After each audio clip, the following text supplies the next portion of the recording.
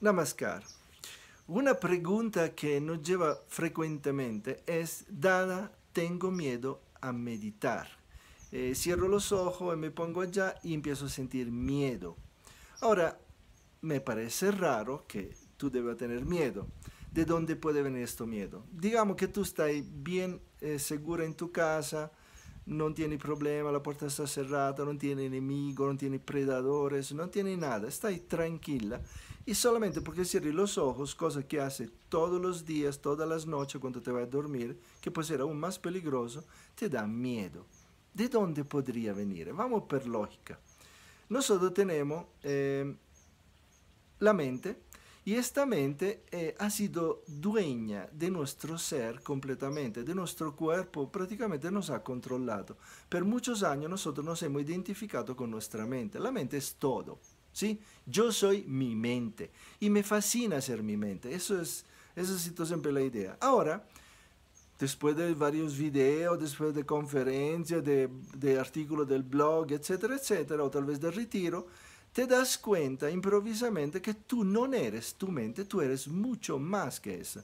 Tú eres infinito, tú eres el ser.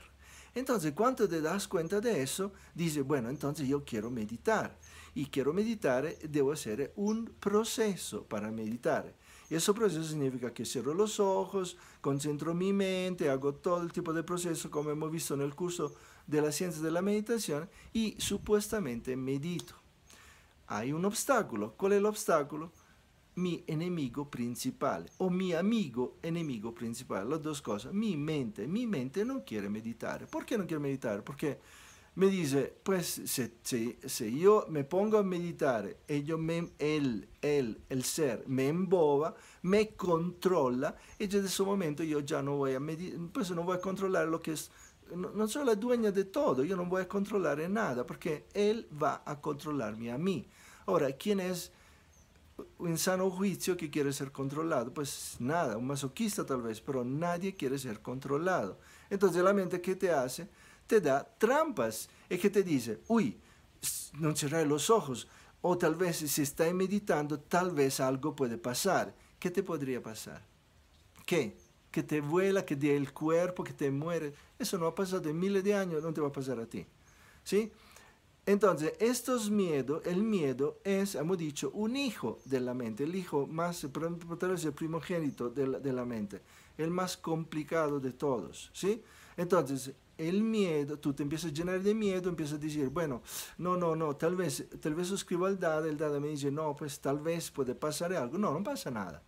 ¿Por qué? Porque no es que yo te estoy diciendo, vate a colgar por el cuello para ver que, pero eso es bueno. No, te estoy diciendo, siéntete en una posición cómoda, tranquila en tu casa donde no hay peligro, cierra tus ojos y empieza a tener un proceso para refinar tu mente encantarla y un día controlarla. Eso es todo, ¿sí? Además, de mirar una cosa. Mira, hay una diferencia enorme entre, yo a veces bromeo con la nueva era, ¿no? Cuando yo me encuentro gente de la nueva era, a esa gente es todo fantástico, todo bonito, todo espectacular, todo el universo que le manda cosas, uy, lindísimo. Pues le pregunta, dice, ¿tú meditas? No, pero yo siento, yo, yo siento una unión con Dios, yo siento tanto. Tal vez, tal vez, pero no lo sé. Porque después cómo actúan y cómo viven, no me da esa impresión. Ahora, aquí qué pasa? Aquí nosotros estamos tratando de vencer al enemigo número uno que tenemos, que es nuestra propia mente. Tú puedes convencer a tu pareja, a tu papá, a tus amigos, a tu jefe, pero no, es muy difícil convencer tu mente porque tu mente te conoce muy, muy bien. Entonces, ¿qué pasa aquí? Que tu mente la debe encantar y por eso está el curso de la, eh, ciencia de la meditación que puedes rehacer si tiene miedo o si, si, si no lo tiene claro y, más de todo medita.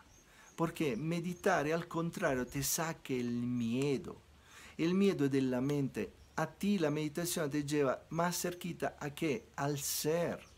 y el ser te lleva al ser supremo, a hacer entender cosas que tu mente densa no quiere entender, tu mente burda no quiere entender. Entonces, en el momento que tú eh, te, das cuenta que ya no es esta mente que ya no es ese miedo, esa timidez, esa ansiedad, ese celos, toda esa cosa que tú tienes ahora, ¿va bien? Esa inseguridad. ¿Qué pasa? Que tú dices, wow, pero yo, un momento, ¿por qué debo tener miedo? ¿Por qué debo tener ansiedad? ¿Por qué debo tener timidez? ¿Por qué debo tener celos? ¿Por qué? ¿Por qué yo debo tener toda esa inseguridad en la vida? No, al contrario, una persona que medita, una persona que, que, que, empieza a enfocar su mente, a concentrarse, sabe cómo concentrarse, no solamente se vuelve exitosa en la cosa de la vida, también se pone bien fuerte, fuerte mejor dicho, muy poderosa, la mente se vuelve muy, muy enfocada, porque tú ya enfocas la mente, tú, la mente ya se vuelve como otra herramienta más, como otro sentido más. Ahora, si tú tienes 10 sentidos, 10 motores sensoriales, tiene uno más que es la mente. Tú simplemente le dices, ahora vamos a hacer esto, y ella lo hace. ¿Sí? ¿Por qué lo hace? Porque tú ya tienes esa fuerza mental que tú has logrado como a través de la meditación. Entonces, no tener miedo, no te puede pasar nada, absolutamente nada, ¿sí? Solamente puede elevar a ti mismo o ti misma hace, esta felicidad que está buscando, esta paz que está buscando. Mira, el ser humano necesita solamente dos cosas, paz y felicidad. Todo eso claramente es eh, porque tenemos complejo, porque tenemos miedo, porque tenemos inseguridad pensamos que es el dinero, que es el poder, que es la fama, que es gustar a los demás. No, no es nada de eso. Porque si tú estás perfectamente solo, solo en algún lugar, sin esas cosas, tú puedes vivir súper bien. La, la, felicidad es interna, es toda tuya, es tu derecho de nacimiento. Solamente, ya está en ti, la debes solamente ir a buscar. ¿Qué, qué nada más?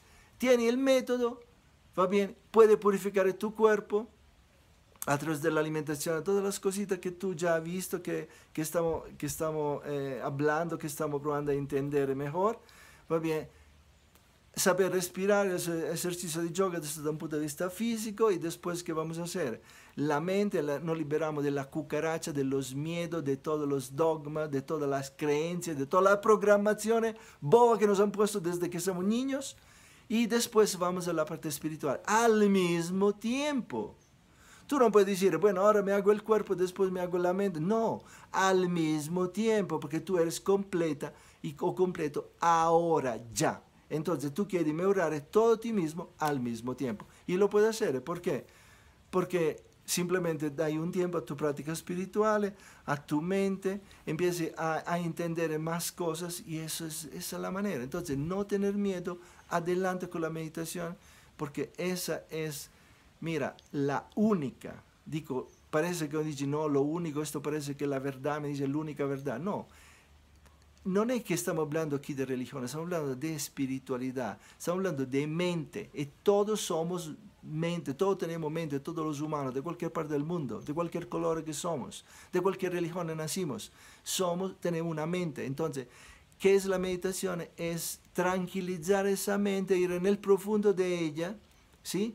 Y empezar a conquistarla. En el momento que la conquistamos, vamos más allá de ella y encontramos el ser y después el ser supremo. Y esa es la felicidad suprema. Entonces, adelante con eso y bien derechito, sin ningún problema. No hay peligros. Namaskar.